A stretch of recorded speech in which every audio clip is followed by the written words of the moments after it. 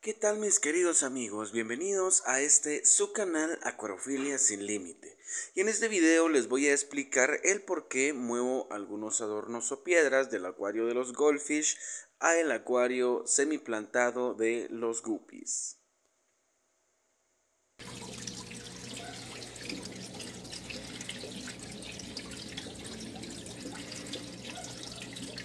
Y bueno, pues como ustedes ya sabrán, el alga de atomea es un tipo de alga bastante común y por supuesto bastante difícil de erradicar en un 100%. Entonces, en la mayoría de los casos tenemos que aprender a vivir con ella y aprender a controlarla.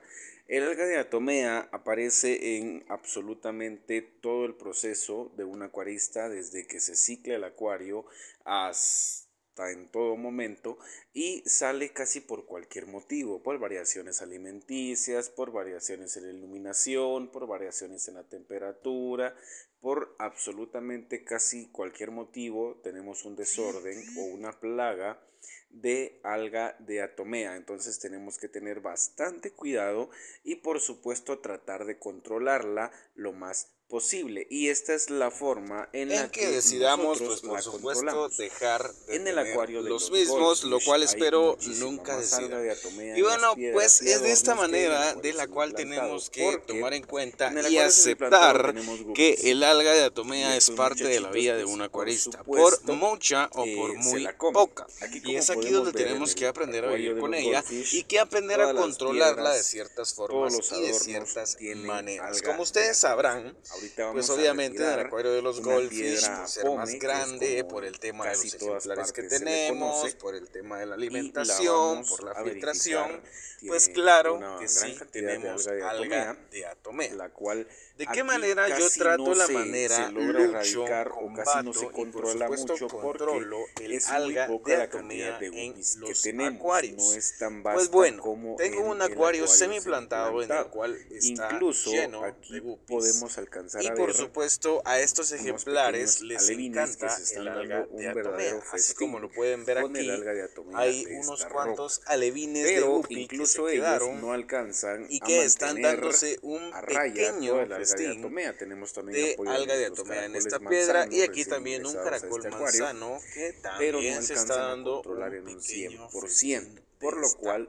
tenemos que normalmente en la mayoría de los casos temporalmente em, estos ejemplares siempre buscan alimentarse de esta alga es por eso que Esto el acuario de los nada, guppies al contrario semiplantado controlar el alga de en el acuario y por supuesto a variar pues, el alimento se encargan de, nuestros de mantener eh, justamente el alga bastante a puesta de huevecillos de caracol planorbis.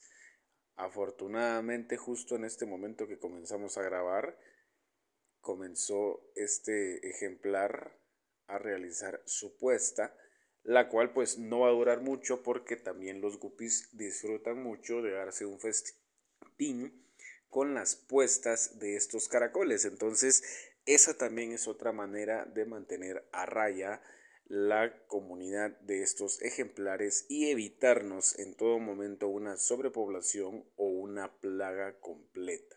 De esta manera podemos controlar que hayan los que queremos que hayan y que no se sobrepoble y que no llegue a ser un problema, un daño o incluso eh, nos llegue a afectar en el acuario.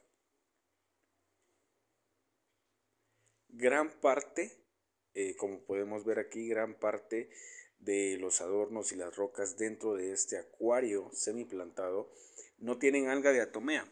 Y no es que no salga, sino que los guppies disfrutan mucho de alimentarse de ella. Muchos también me preguntan cómo es que el alga de atomea no se descontrola en este acuario si prácticamente yo la estoy echando. Bueno, si se dan cuenta, eh, lo podemos ver en el tiki, el cual pues está bastante mejor, mucho más limpio de lo que estaba cuando lo metimos. No meto ni más de 5 ni más de 6 eh, piedras o piezas con alga de atomea, sino que simplemente meto una por una para mantener eh, la movilidad de los peces guppies, para mantener por supuesto la buena alimentación y por supuesto para mantener el control. Esta piedra la tengo aquí y la voy a dejar hasta que eh, la limpien casi por completo y después la voy a regresar a donde la saqué para evitarme por supuesto que también el alga de atomea dentro de este acuario semiplantado se me descontrole. Como podemos ver pues los guppies ya comenzaron a sentir que hay alga de atomea por ahí cerca Recuerden que las partículas son bastante pequeñas, casi imperceptibles a la vista, pero para ellos sí son perceptibles. Entonces ya comenzaron a buscar por dónde es. Y de esta manera, pues por supuesto, les variamos mucho la alimentación, eh, incitamos a la reproducción y por supuesto también controlamos la colonia de alga bacteriana o de alga diatomea que hay en el acuario de los goldfish. El proceso que yo tengo es que paso para acá los adornos, después eh, regreso al tiki y jalo tal vez eh, alguna de las estructuras que hay como adornos y luego la regreso y luego jalo otro y es de esta manera que logro yo mantener los adornos eh, limpios naturalmente y por supuesto mantener controlada el alga de atomea ya que en el acuario de los goldfish es únicamente sobre las piedras, la grava y los adornos que hay alga. No hay sobre los cristales. Es debido a que también pues de esa manera es que nos ayudan los guppies y de esta manera pues nos mantienen los acuarios eh, bastante buenos. Parte del proyecto o de un proyecto a futuro es que este acuario se encargue únicamente de reproducir tanto guppies como también plantas. De tener aquí plantas, poder reproducirlas y después poder meterlas en otros acuarios como eh, tal vez algunos de betas que próximamente tendremos eh, como proyecto reproducción de betas y por supuesto poder tenerles plantas saludables, naturales y al 100% listas ya solo para hacer eh, la instalación dentro del acuario, el aquascape y todo lo que sea relacionado. Así como vemos aquí, ahorita están todos los guppies grandes completamente interesados en todo el alga que hay aquí.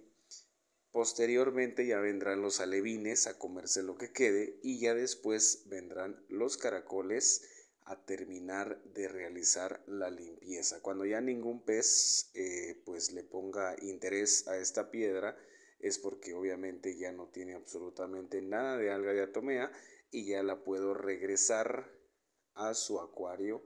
Aquí podemos ver que está bastante interesada la población. Podemos ver guppies de todos los tamaños.